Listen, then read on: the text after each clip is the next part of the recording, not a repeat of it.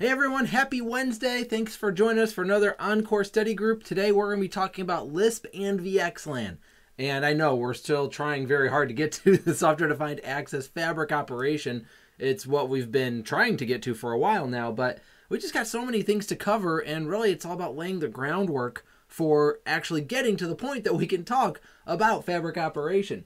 So as we look at today's agenda, really again, we're just going to be talking about Lisp and VXLAN. And most of the conversation is going to be Lisp. Lisp is definitely the larger cookie to try to consume, if that's an analogy anywhere. But either way, we're going to be spending probably about three quarters of our time today on Lisp. And then at the end, we'll definitely cover VXLAN. It's just, you know, VXLAN is pretty straightforward. It's a layer 2 tunneling mechanism. So we'll give the information that we can on it. And from there, we'll have, hopefully, all be armed and equipped with the information that we need in order to finally, again, talk about software defined access as fabric operation um, moving forward. So uh, there's a lot to cover today, so we're going to jump jump right in. But for those who are new or it's been a while since you've joined us, thank you for coming.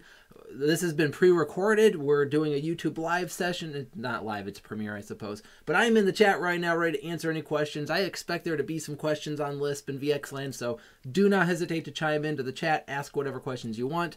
VXLAN and Lisp. The reason we're covering these is because we're going through uh, the whole software-defined access section is for those who are studying for ENCOR. As you know, SD Access is a big part of this exam. We need to be comfortable with the concepts.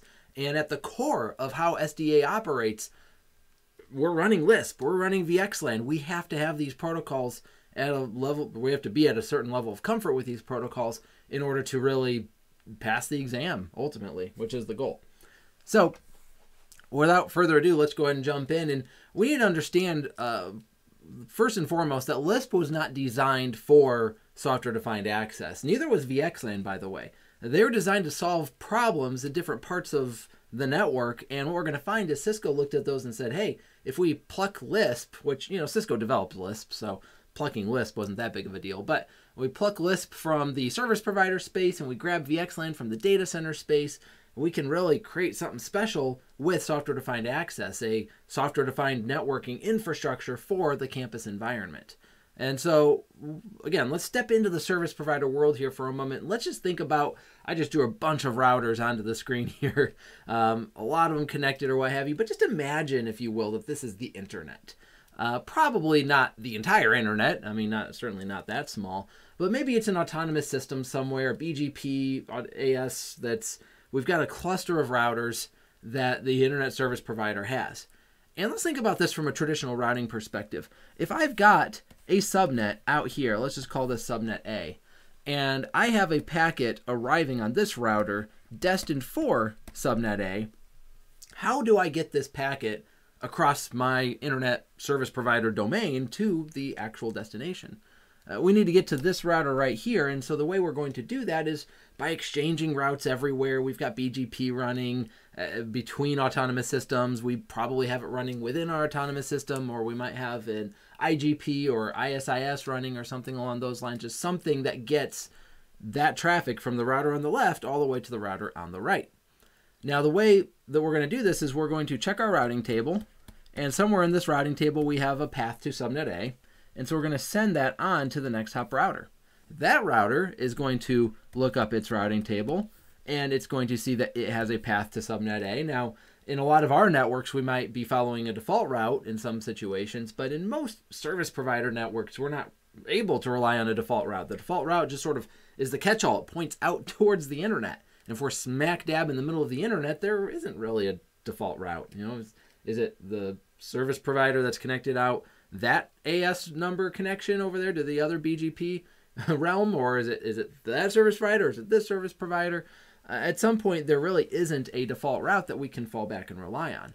And so this is why it's so important that we have a route to network A. And so we keep hopping and we check the routing table here and we see that we have a route to A and we forward it on to the final router, which of course it's also got a routing table lookup to do. Even if A is directly attached, which it might not be, it might just be downstream, but either way, we forward it on to the destination.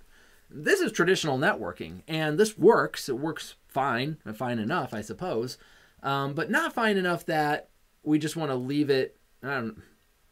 It's it's not working fine enough such that we didn't have to create something to fix some problems. The biggest problem that we have here is that every single router in the path had to know what? It had to know where subnet A lives. And so and that makes sense, right? I mean, if I'm a router and I receive a packet and I don't know where the destination is, I, I drop it. But but there's a big flaw with this theory, and that is that ultimately what I'm trying to get to is I'm trying to get to this router here on the right.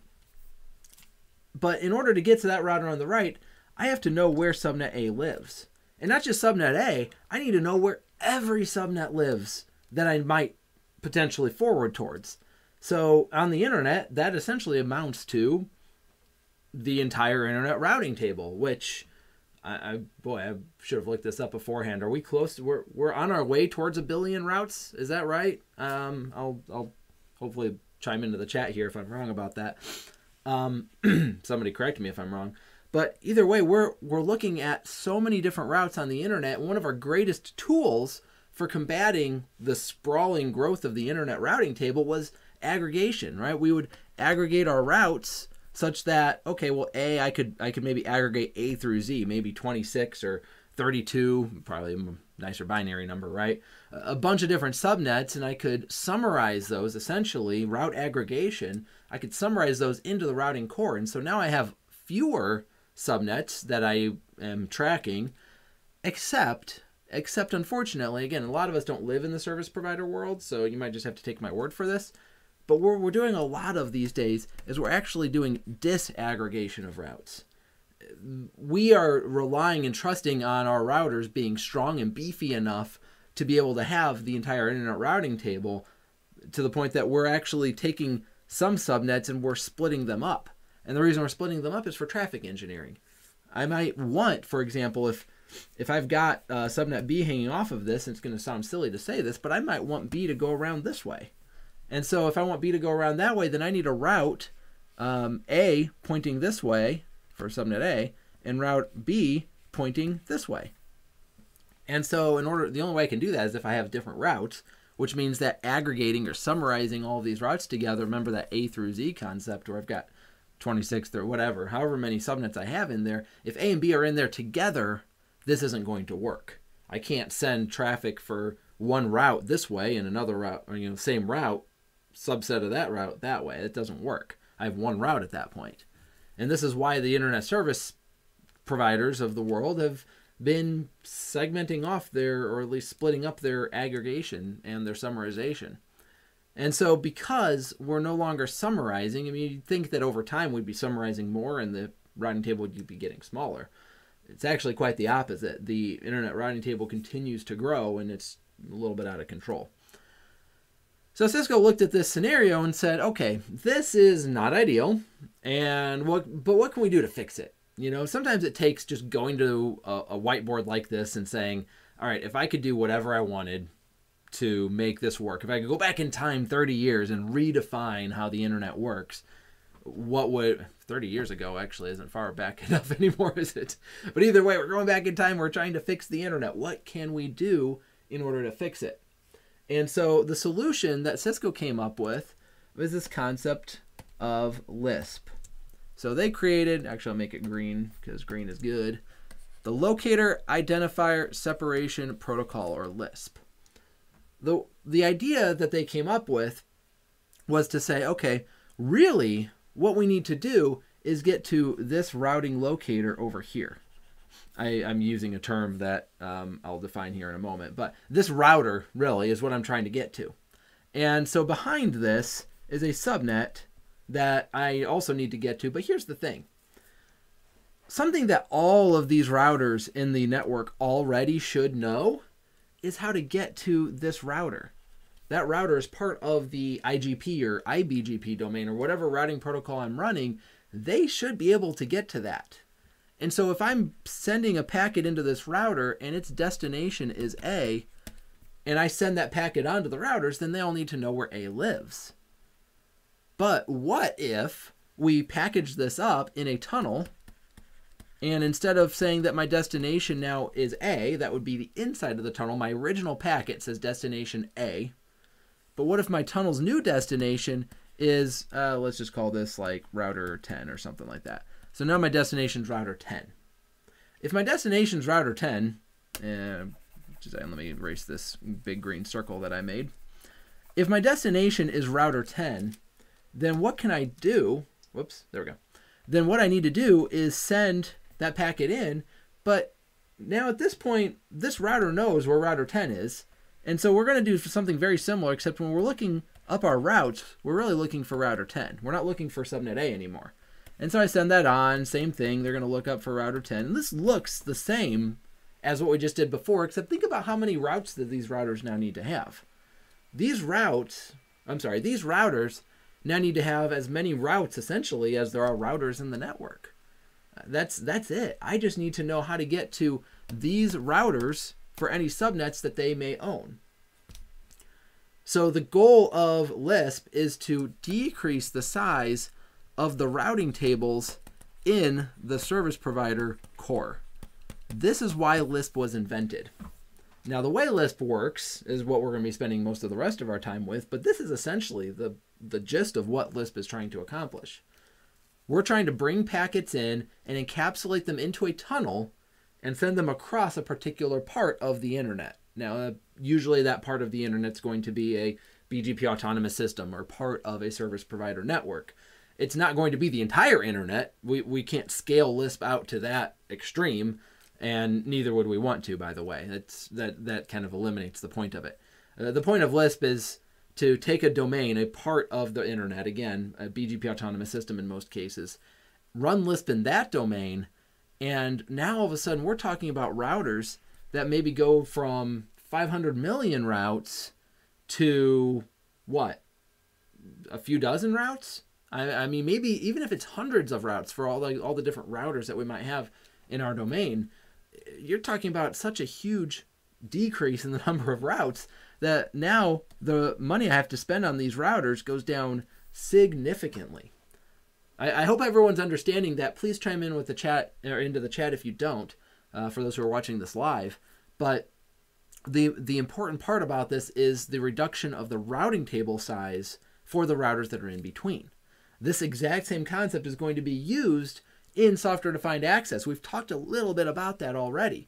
And anytime we're using tunneling, that concept of tunneling, which used to just be like, honestly, tunneling was largely used, uh, other than like IPsec tunnels and tunnels out to remote sites, tunneling was mostly used for CCNA labs and CCIE labs. we weren't really setting up tunnels inside of a campus fabric or campus network, call it back in the day, five, ten years ago. Um, but now all of our software defined infrastructures are coming out of software defined networking Cisco's not the only one doing it this way. Every software defined networking solution out there is building it on tunnels.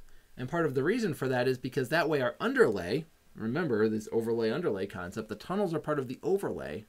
But now the underlay, it can be really dirt cheap networking gear. For the most part, we're just taking packets in, looking up a small a route in a very small routing table relatively and just chucking it on to the next hop. That's all we need this device to do.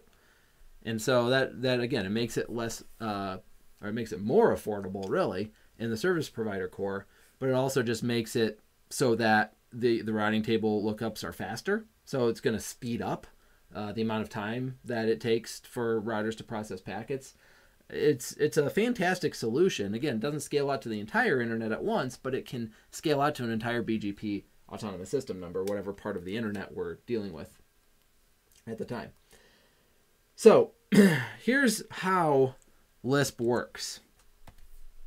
I'll keep working on this uh, diagram for a moment. I, I, definition of terms here. I called. I, I kind of gave a spoiler earlier. Um, what we're doing in the Lisp world is we're taking the locator ID, really the uh, locator identification. How to explain this? Um, the locator identifier is li, right? And we're separating that from the the locator and the identifier. Yeah, I didn't explain that very well. All right, let's just do it this way. The routing locator is going to be where my subnet lives. My identifier, this has always been my identifier. If I look at my IP address, that's how pretty much all policies are defined against me on the network. If I log in with my PC, it's they know who I am by based on my MAC address. This is one of the problems that Cisco TrustSec and ISE tries to solve is identifying who you are, not just based on your IP address, right? Um, that's where we get scalable group tags and such. But ultimately, especially in traditional networking and pretty much everywhere, my IP address still is my identifier to who I am. Which is why, by the way, coming into the network over here, somebody's trying to send a packet to me. And in Lisp, that doesn't change. My identifier continues to be my IP address and specifically my subnet from a Lisp perspective. But now we introduce this concept of a locator, a routing locator, or an RLOC. The routing locator is going to be an IP address that identifies where I live inside the network. So now, remember we talked about this concept of a destination IP address of router 10. This router 10 IP address is going to be my routing locator. So now let's just say, I don't know, at this point, 10.0.0.0 slash 24 is the subnet. And let's say that this router, we're in the internet, right? We should be using public IP addresses. So let's just call this well, I can't use 10 because I just, you know, 10's a private range. Um, we'll call this, rats, I really want to use 10 since it's router 10. Why, why did I call it router 10? Let's just call it 1.1.1.1. Why in the world not? Okay. 1.1.1.1 is the IP address, which is, by the way, a pretty popular um, DNS, uh, open DNS style uh, service these days. So I can't even use 1111 anymore anonymously. But either way, 1.1.1.1 is the IP address in our scenario here of router 10. So when that packet is going to come in, we are going to somehow magically, and again we'll explain this by the end, but magically this router here on ingress is going to see, okay, wait, you're destined for A. A, subnet A lives on 1.1.1.1. So I'm going to encapsulate that into a tunnel packet such that the destination is no longer 10 dot let's say it's just 10.0.0.1 that happens to be my IP address. We're no longer destining this packet for 10.0.0.1, we're destining it for 1.1.1.1. And again, all of the routers in my ISP domain should know where 1111 is. And whatever I, you know, again, I keep saying IGP, it could be EIGRP, it could be OSPF, it could be ISIS in a lot of cases, it could, again, be IBGP. But either way, we've advertised out to all of these routers where 10 or 1.1.1.1 lives. And so when I send my packet to the next hop router, it's going to look up, do I have 1.1.1.1? Hey, I do, and it forwards it on, et cetera, et etc. Okay, so routing locator and, uh, oh, sorry. Um, the term that we use to call this identifier is actually an endpoint identifier, EID. Okay, in the software defined access world, we're going to find that the endpoint identifier actually identifies an endpoint. In the Lisp world, for the most part, my endpoint identifier is going to be the actual subnet as opposed to an actual IP address. So in our example here, the endpoint identifier would really be pointing to 10.0.0.0 slash 24 uh, rather than 10.0.0.1, which is what would happen again in SDA world. And the primary reason for that is not that we need to go into a whole lot of detail here, but the reason for that is because in the Lisp world, subnets aren't going to be split around the network. If this subnet is attached to this router, I'm not probably going to have 10.0.0.1 hanging off of this router and 10.0.0.2 hanging off of this router. In a software defined access fabric, that's fair game because these edge devices in an SDA fabric, what are those? Those are layer three access switches. So if I roam, right, if I wirelessly roam from one network closet to another just by connecting from, you know, from that access point now to, to that access point, I've now roamed from one network closet to another. Well, now I've just done a layer two roam. And so I was 10001 on that side. Now I'm 10001 on this side. Well, in, in an SDA world, that's going to happen a lot. But in a service provider world with Lisp, we're not we're not supporting clients being like you know, migrating around. We just we just want to support you know we want to track where the subnets live. Okay, so we're getting rid of that. Uh, 10002 can't exist out there. It's again the routing locator and the endpoint identifier. Those are our two primary things we need to uh, be thinking about. Okay, uh, what's next here?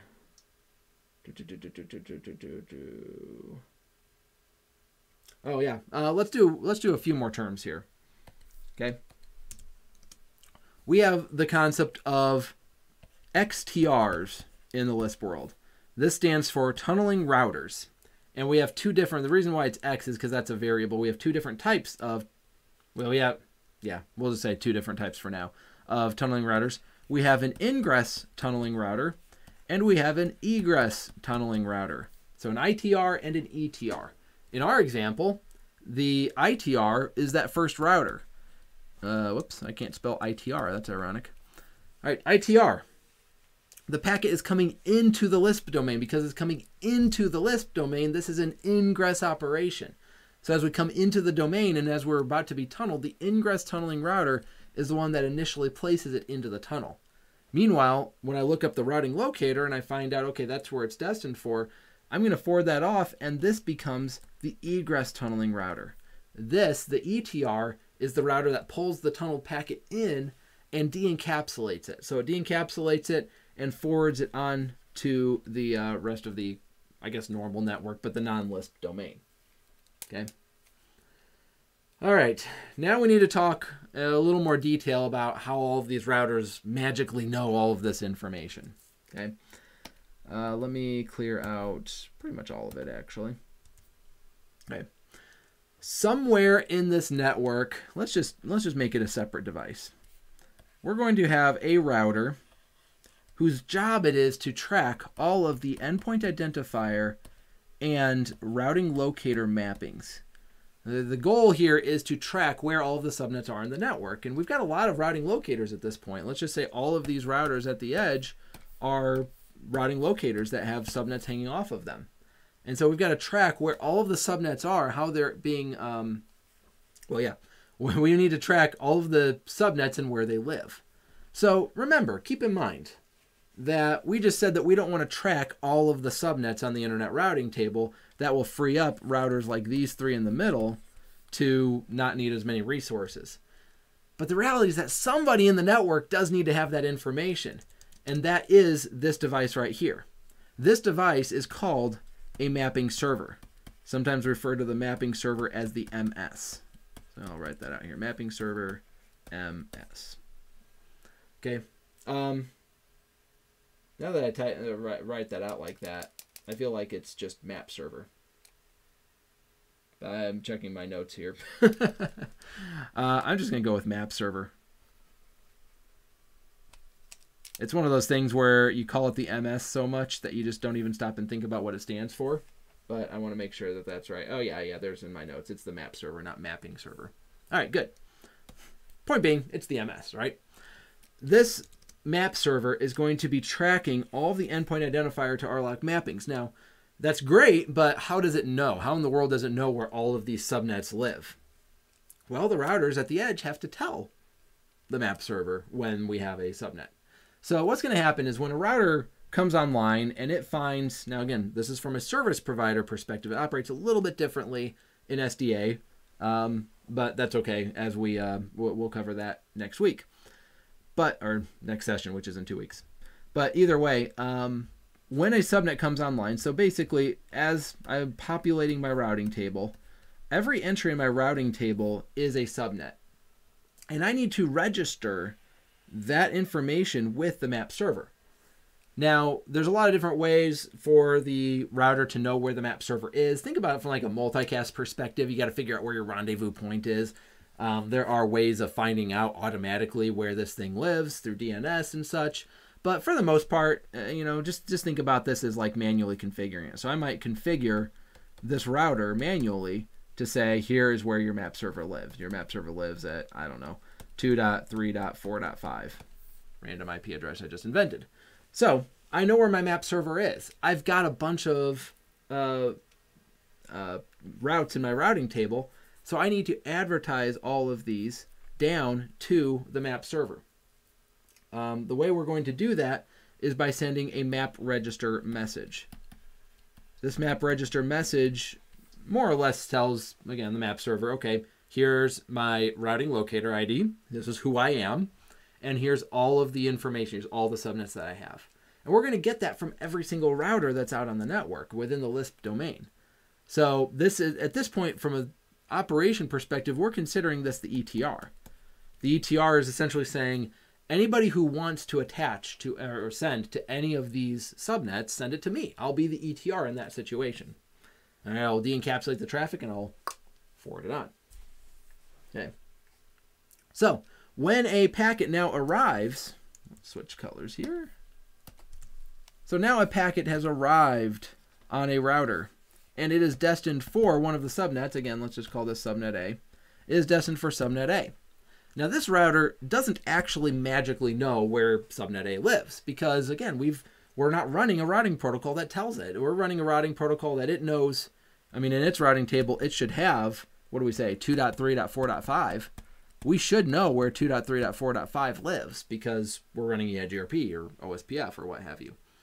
Um, but we don't necessarily, but we, we definitely don't know where subnet A lives, at least on at the first packet I need to send to subnet A. And so I'm going to send a map request message. Hold up, I gotta scroll my notes down a little bit. Oh yeah, I, yeah, we're doing this a little bit out of order. That's okay. That's okay. We're fine. Um, we're to send a map request. Map request. I just skipped over some details on the tunnel. I'm going to come back to the tunnel mechanism as part of Lisp. So um, this is fine. It actually makes more sense to cover this first. So we're going to send a map request to the map server, and we're going to get back a map reply. The map request included the information of, hey, I'm trying to reach subnet A and the map reply contains the routing locator for where subnet A lives.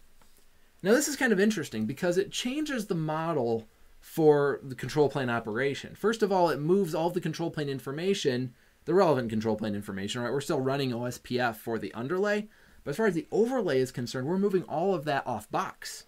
The router here at the edge, this ITR at this point, this is the ingress tunneling router, the ITR doesn't has have all the information in today's like in a traditional network if we're running ospf and exchanging routes and everything and i get a packet in and i don't have a route i just assume well if i don't have a route then i don't know where to go i mean it's not an assumption that's the reality i get a packet in i don't have a route in my routing table therefore i drop the packet because i don't have a route but we changed the methodology here a little bit because in that methodology i have been pushed all of the information that the network has I've, I've received all of my LSAs if it's OSPF. I've received all of my route advertisements if it's EIGRP. I've really, I really re, received is the word I'm trying to say. I've received all of these routes, and it's great that I'm. Where, where was I going with that? I'm receiving. They're they're pushing that information down to me.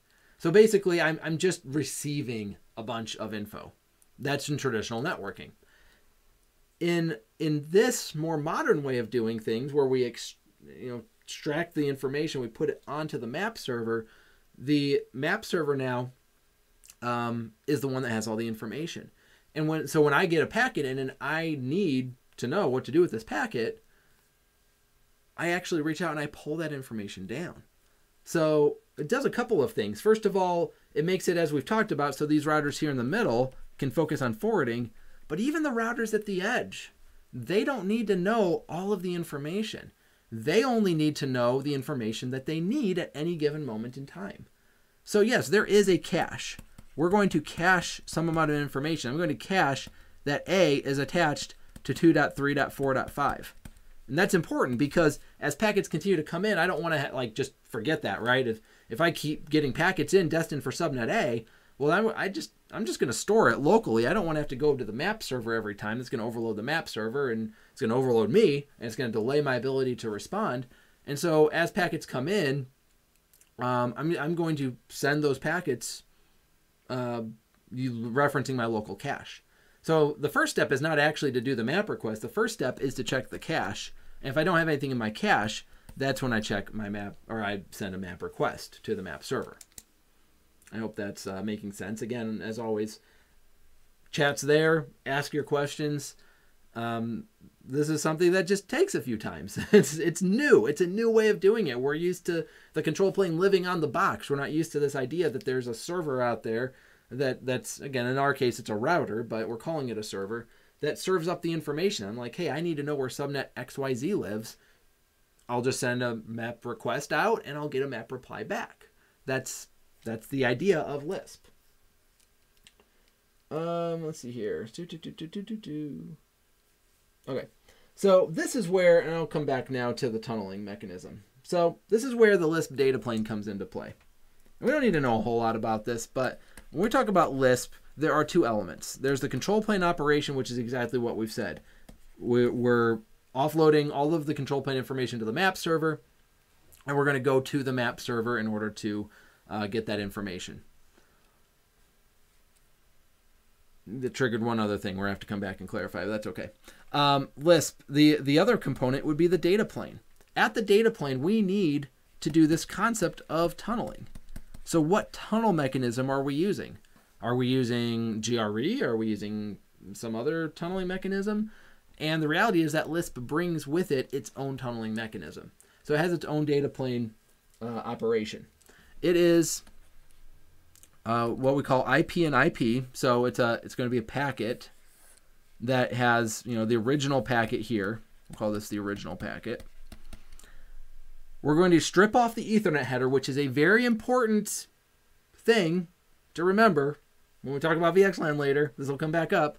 We're going to strip off the Ethernet packet, so now or header. So now we have an IP header, and then we have whatever layer four header we have, and then we have uh, the layer five through seven information here as our payload. That's the original packet, and then we have two things. We're going to add a Lisp shim header in here, and we're going to add a new uh, IP. Well, hold up. We're, I'm running out of space here. There, we'll just have to do it like this.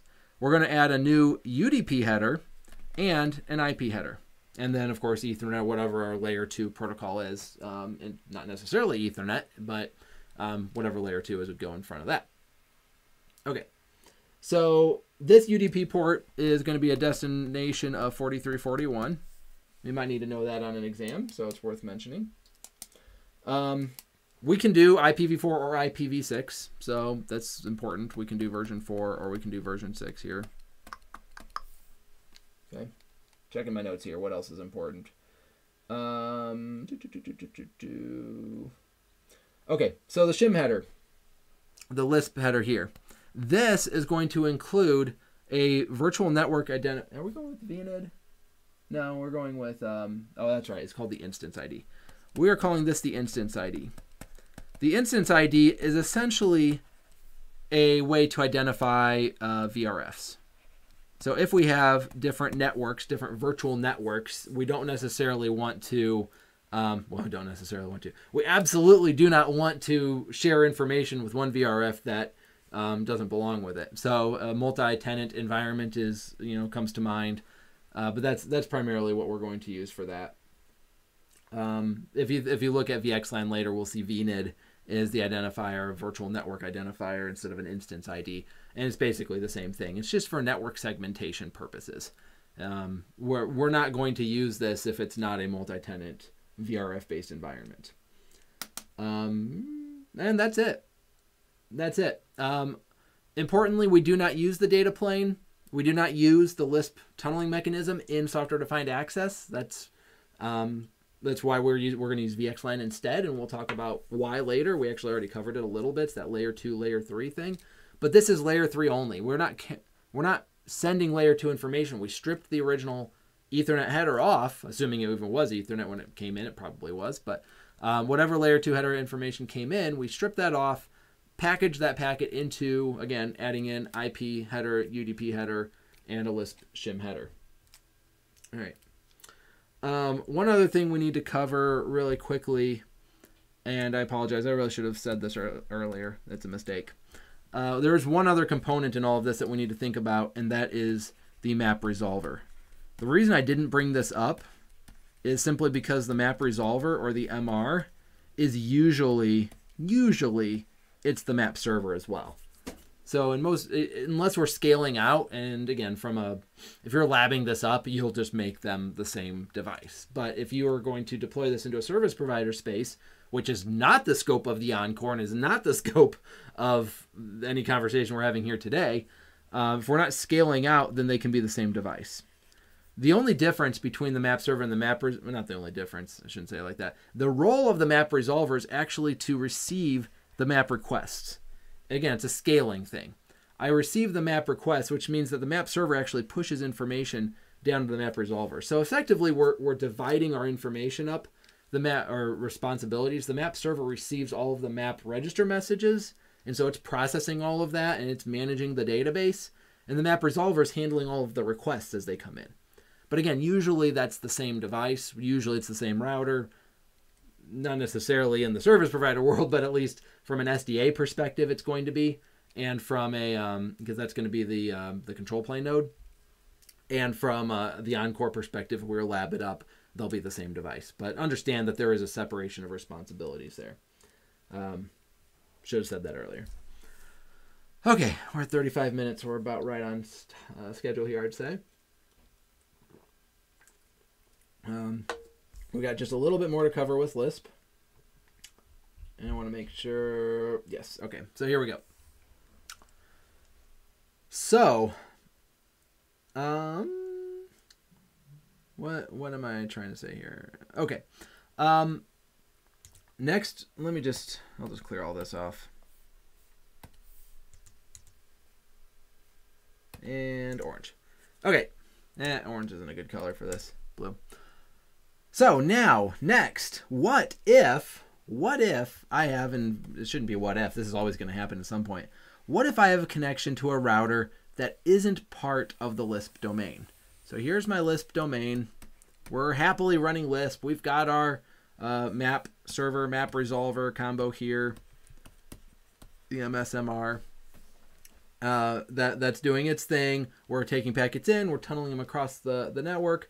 But now all of a sudden, I've got this connection to maybe a different service provider. It's either way, it's non-Lisp. It's not running Lisp. It doesn't know what Lisp is. What am I going to do with it?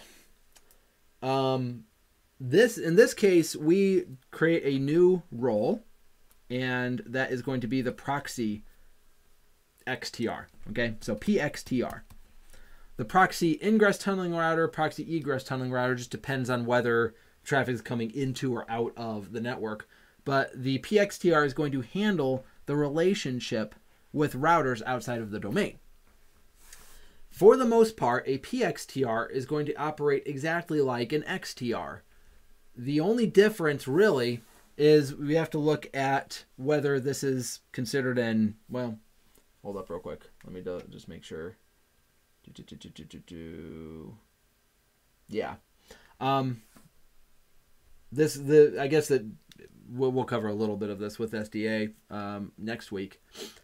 The difference is that the PXTR is not actually registering anything with the uh, the map server. Okay, so we've got some number of routes out here, and probably a lot of routes. You know, I mean, if this is the rest of the internet, this is a pretty significant number of routes. Uh, if we as we have a some kind of relationship here, maybe this is a BGP relationship, or maybe again in service provider world, it's almost assuredly going to be a BGP relationship, but it could be EIGRP, it could be OSPF or something along those lines. Um, but either way, we're we're not going to register. Uh, we're not going to register those messages. Hold up, real quick. If uh, da, da, da, yeah. Okay. I'm, I'm my my I'm getting a little bit mixed up here between um, SDA because SDA has has two different kind of uh, border nodes that they call them, which essentially are these PXTR concepts. Um, and so I want to make sure that I get the right information from uh, a Lisp service provider perspective. Okay, ITR is going to send it to the, yeah. So basically what's going to happen here is if I receive a packet, whoops, if I receive a packet that's destined for something, and I check in with the MSMR, I send my map request, and I don't get anything back. It's basically going to send back what they call a negative map reply. Okay, I'll write this out. Negative map reply. The negative map reply is going to tell the ingress router, so again, this is the ITR, is going to tell the ingress tunneling router that, hey, I don't have an entry for this. So you got to stop and think for a moment. In a traditional environment, if I don't have a route, I'm going to drop that packet. But in a in a Lisp environment, if I don't have that route, I don't necessarily want to drop it because that route might exist somewhere. It just might not be part of my Lisp domain. And if it's part of, if it's uh, not, not part of my Lisp domain, I'm going to forward it to one of the proxy XTRs. Or the, yeah, proxy, I said that right. So now at this point, this is going to be a Peter instead of a pitter, I suppose. proxy egress tunneling router. I'm going to send that traffic to the PETR, and the PT, PETR is going to, at that point, decide whether to drop it or not. In other words, it's running BGP, it's got a bunch of routes, and so maybe it does have a route outside of the Lisp domain. And maybe it does not, by the way. Maybe, it doesn't know exactly where it's supposed to go. And so if it doesn't have a route at that point, it will drop it. But if it does have a route, this essentially turns the PXTR, the PETR, however you want to say it, it essentially turns this into a default route. Because what's happening is as the traffic comes in, if we don't have a destination for it, we're simply going to send it to the PXTR. That's exactly how a uh, how a default route works as well. All right. Do, do, do, do, do, do. All right. So the only other thing I, I suppose is to think about the fact that now also we're getting traffic back in. So if we were to pull this up, say, okay, so traffic now is coming from the non-Lisp domain, and let's say it's landing on one of these uh, PXTR. So now this is a PITR. And we're destined for, you know, something else out there, I suppose. Uh, like, let's say uh, subnet C is living off of here. PITR is going to operate exactly like an ITR at this point. It will send the map request to the MSMR, and the MSMR is going to respond back with a map reply telling it where C is. Remember, it's responding with the routing locator, the RLOC, and so now the PITR knows to send it over to the router to which C is attached. Okay. Do do do do do do do do do. Moving on.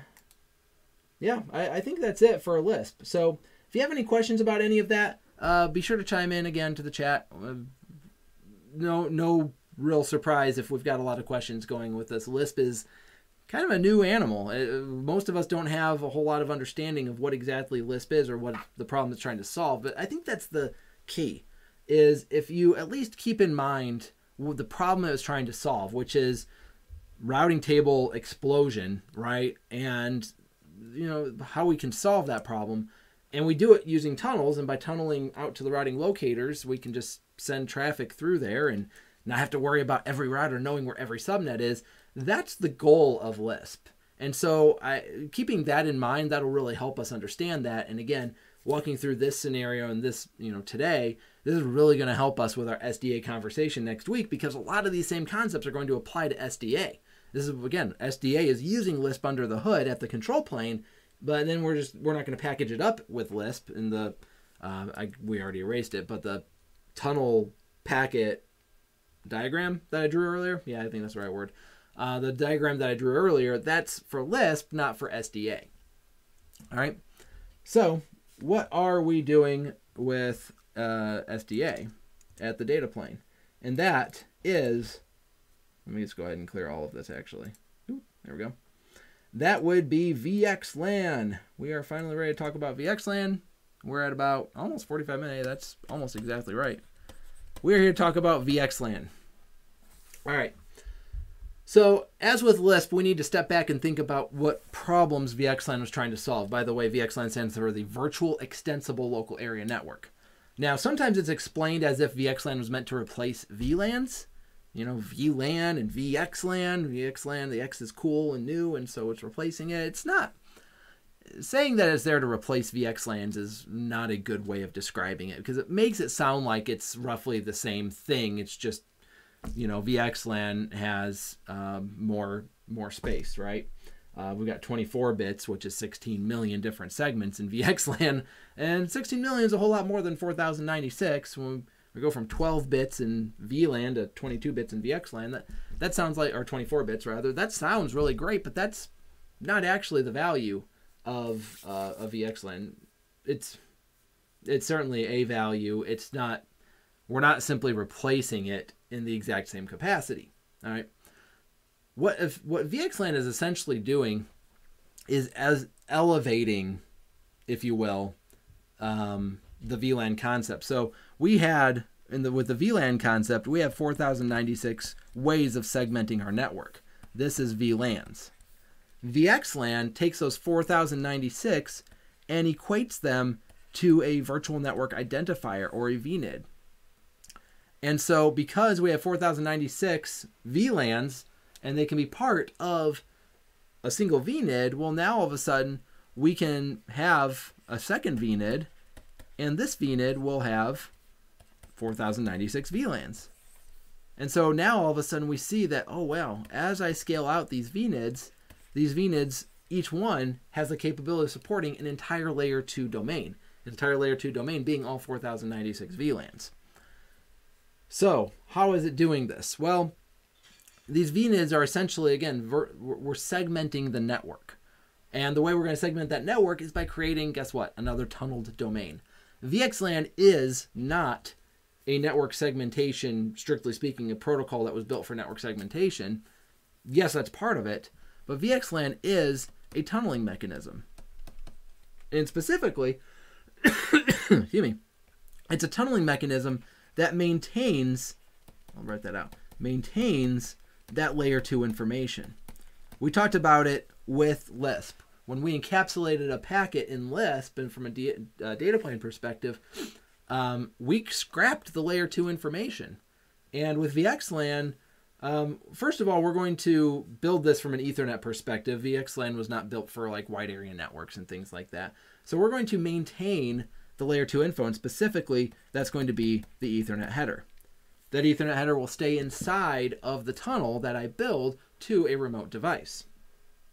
So uh, let's see here. So if we look at that from a from a diagramming perspective, let's just do that now. So remember, before, eh, where am I going to draw this? Uh, right here. So let's say we've got the original payload. That'd be the layer 5 through layer 7 info. So we've got the layer 4 info here, a TCP, UDP, whatever that is. And then we have the IP address. But from the original packet perspective, again, we're going to keep the Ethernet header. Since we keep the Ethernet header, that is, we'll just call this the original, the entire original frame. Now it's a frame, right? Because it's Ethernet. And from there, now we're going to throw on a VXLAN shim header. And same thing with UDP, uh, with Lisp, we're going to throw UDP on it, and we're going to throw IP in front of that. And then, assumedly, another Ethernet frame here. So, um, the key here is that because we're keeping the Ethernet header intact, we are now carrying layer 2 information with us across, check this out, across a layer 3 domain.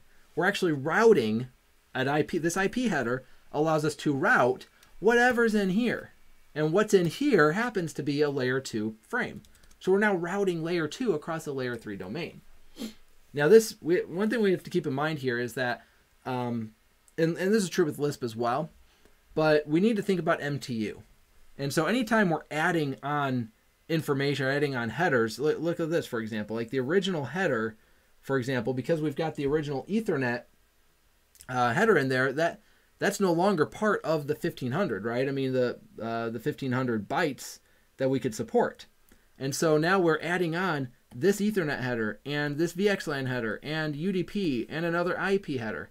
And so this all amounts to usually 50 bytes of additional overhead. But in some cases, um, with the embedded Ethernet header here, if we want to, we can actually keep the VLAN header intact. And if we keep the VLAN header intact, then this actually becomes 54 bytes. One misconception in the tunneling world is that you have to increase the MTU or the tunnels won't work. And that's actually not true. Uh, the tunnels operate at layer 3 and IP allows for fragmentation. So if you mess this up, Good news is the network will work. It'll fragment the tunnel packet, which isn't ideal, and it'll send it across the network and it'll get refragmented and life is good. And so uh, this is why deploying tunnels, in a lot of cases, you might end up kind of messing up the deployment and you'll never know about it. I mean, that's the good and bad of fragmentation is it, it makes up for your mistake, but it doesn't tell you you're making a mistake until your router CPUs are all spiking up high because it's spending all of its time fragmenting and uh, defragmenting packets. So we want to make sure that we do increase the MTU, not from the perspective of the tunnel won't work, but from the perspective of it will start fragmenting packets. And um, yeah, I, I I'll, I'll get off my soapbox on that. There's there's actually a lot of it's interesting. Uh, there's a lot of misinformation out there with how tunneling uh, MTU works, and so for you know, yeah, I, am not going to go into it now. We don't have time to go into it, but um, what what I'll challenge you with if you are studying for the ENCOR is go if you've got a lab environment, open up your lab environment, build some tunnels, just GRE tunnels, you know, make tunnel interfaces, and set the do not fragment bit on pings and send them through the tunnel. You know, get onto those tunnels because the common scenario is get onto those tunnels and set them for 1476, um, and you know, from an MTU perspective, but it doesn't work like you think it will. So fit, play with that and do yourself a favor and get a better understanding of how MTU works from a tunneling perspective. Either way, we want to set our domain to be 54 or 50. Incidentally, by the way, SDA does not use the VLAN header, and so we only need to increase it by 50 bytes. Uh, so it should be 1550 bytes at a minimum in our underlay. And we can always just go higher. We could just do 9,000 and then life is rosy. So but but increasing it by 50 bytes at a minimum for SDA, 54 if you're building your own VXLAN network and intend to use the VLAN tags. Okay.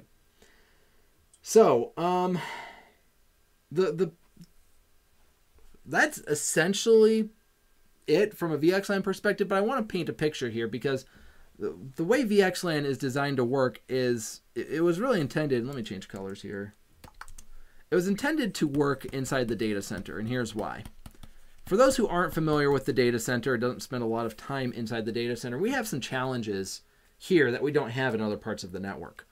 Uh, for one, we want layer two communications. We talk a lot about how layer two communications is bad uh, or are bad, but layer two in the data center is important. This allows us to do things like vMotion, or more generically speaking, my live migration. It allows for storage communication. We do a lot of uh, iSCSI and um, maybe even some uh, other protocols like NFS and CIFS and such, and we want that to uh, be as much as possible at layer two. Uh, we're also, by the way, doing jumbo frames as much as possible, and jumbo frames usually is going to be a layer two concept as well, but we're applying that to storage and vMotion because they are layer two, and we uh, these are heavy hitters. Uh, on the campus network, for the most part, we we upgrade our access layer switches to 10 gig because it makes us feel good, but how often are we using more than 100 meg on our uplinks? Not not very often because most of our user traffic is just sending HTTP messages out to the internet or what have you. We're not doing a ton of data transfer out at the edge. In the data center, that's absolutely not true. We are doing a ton of network traffic inside the data center, and it has to be at layer two. Furthermore, we have a lot of multi-tenant data centers. Uh, multi-tenant. I'll just say multi-tenant.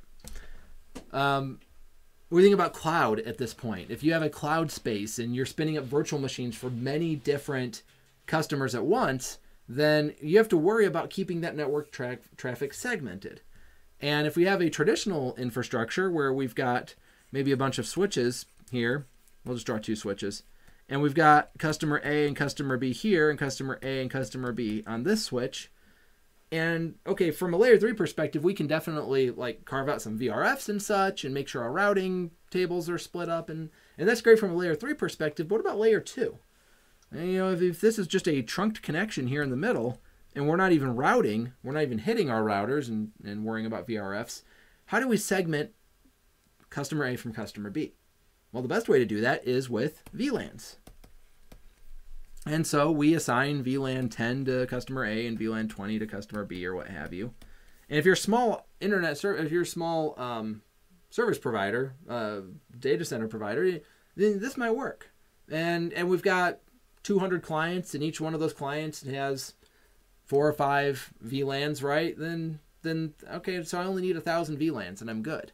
But for large service providers, can you imagine Amazon being restricted to the 4,096 VLANs? That's a problem in modern data centers because 4,000 is way too few. 4,096 is almost too few for some large, well, it, it, it is. It is too large or too few VLANs for some enterprises. Um, network segmentation, we're, we're segmenting our own networks. And so as our service provider environment here just spins up, we need more than 4,000. What are we going to do? And the solution up until this point is to segment with private VLANs or, uh, you know, again, to have come up with some sophisticated mechanism so I know that, um, you know, this router over here or this switch over here, maybe it has VLAN 10 assigned to customer C, knowing that VLAN 10 has been removed from the trunks that go over to the other switches or what have you. And that means that I can't have uh, A10 over here. I can only have C10 on this switch and A10 on that. I mean, it gets to be a nightmare uh, how we split up our VLANs. And so VXLAN was designed to solve a lot of these problems. Um, there are other problems with the data center that, uh, you know, from an aggregation perspective, data center pods and such, scaling out at layer three, um, that I'm not going to go into at this point, but just understand that this layer two is so important that as we scaled our data centers out and we again we hit our limits and we needed to put layer three boundaries inside the data center that that kills our ability to do layer two. You know if i if i've got two data center pods that are connected at layer three and i need to do a vmotion from uh, one physical server in one pod to a physical server in the other pod well that's just not going to work from a layer two perspective. And likewise if i need to send storage attach storage between the two at layer two I, I don't have layer two it's layer three and so VXLAN was developed to solve a lot of these problems for us. Um, this usually is going to go part and parcel with a leaf spine architecture. This leaf spine architecture makes it so that I've got spine switches on one layer, leaf switches on another layer. We do not connect spines to spines. We do not connect leaves to leaves.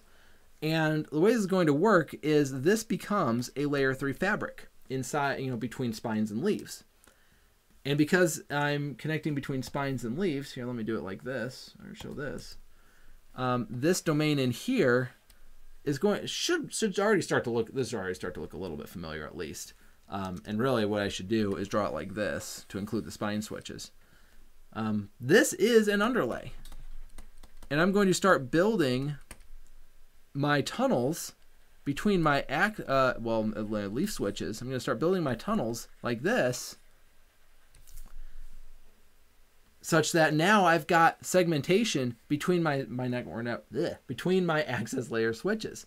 So I've got layer three segmentation between my layer three switches, and so now I've got these tunnels built. And spoiler alert, uh, these are VXLAN tunnels, and VXLAN can carry layer two information, which means that I can have uh, a client on A on VLAN 10 on this switch. And here's the interesting thing: I can have another client, client B, on a completely different VLAN locally so I've got VLAN 20 over here, but because they're part of the same VXLAN identifier, that virtual network identifier, which lives here, I guess we never clarified that, I apologize for that. This VNID, which is a 24-bit value, yeah, that's, that's the right, 24-bit value, which gives us 16 million um, VLANs, or v, VNIDs, VXLANs, there we go. Um, because I've got these uh, different VNIDs, I can connect these two from a layer 2 perspective which means that now I, I have 4,096 different segmentations per access layer switch or per leaf switch. And so this is how the world of VXLAN is solving problems inside the data center. It's really what it was designed to do. I don't need to worry about layer two anymore because even if I have layer three pods, I can build tunnels through those. And leaf spine kind of gets rid of, not, it doesn't get rid of the idea of the pod, but it certainly makes it less of a requirement that I move to pods my pods can be a lot larger with leaf spine. Um, the multi-tenancy, not a concern anymore because I'm not going to run out of VLAN IDs. I've got 4,096 per switch, basically. And so I can handle that, no problem. And so uh, it solves all these problems in the data center, but Cisco is paying attention to VXLAN. And so when we looked at Lisp and said, okay, that's great for the service provider that I'm doing layer three tunneling, but then I look at my campus infrastructure and my campus infrastructure, I need layer two tunneling because I need just the same reason I do layer two out to my access layer closets. I need VLAN 10 to live on every single one of my closets. And maybe VLAN 10 is a particular subnet or what have you. Now, if I change that to a layer three design, and I'm going to build tunnels between my access layer switches, which is what software defined access does, If I'm going to do all of that, then I need a tunneling mechanism that can carry layer 2 information. And so, what we're going to find next week as we walk through SDA fabric operation is that we're going to leverage Lisp, all the things we talked about today, from a Lisp perspective at the control plane. And then we're going to leverage VXLAN to build the tunnels that will allow me to carry layer 2 information back and forth among my edge switches. So, whew, that was a uh, a lot, quite a bit actually. Um, from uh, uh, yeah Lisp and VXLAN. There's there's always more. There's always more to cover with these protocols. Um, there's certainly some more information that we could have talked about with Lisp or VXLAN, but uh, it's not the purpose of a one-hour study session is to pump you full of all of the information. Uh, certainly on CBT Nuggets website, uh, I go into, in fact, there's dedicated skills to each one of these, to Lisp and to VXLAN. So uh, quite a bit of content just dedicated to these two different protocols for those who have a CBT Nugget subscription. Uh, for those who don't, if you're studying your way through the uh, OCG, there's plenty of information, and that the official certification guide is what OCG stands for, for those who are wondering. Um, again, this is what we need to understand from an ENCOR perspective. If our goal is to pass the CCNP and to get the ENCOR um, uh, uh, en route to getting the CCNP, then this is plenty of information. This will get you probably where most of the way where you need to go. Again, with the goal not being Lisp and VXLAN, because you're not likely to get a whole lot of questions on Lisp and VXLAN on the exam, uh, but with the goal being how does SDA work? Because fair game to get asked about a software defined access on the ENCOR. Um, so thank you very much for joining everybody. For those who are watching live, I'm going to stick around and uh, the chat answer any questions that you may have over the next five or ten minutes. So uh, otherwise, hope everyone has a great rest of your week. We'll see you in two weeks uh, for the next session, which again is SDA fabric operation. Until then.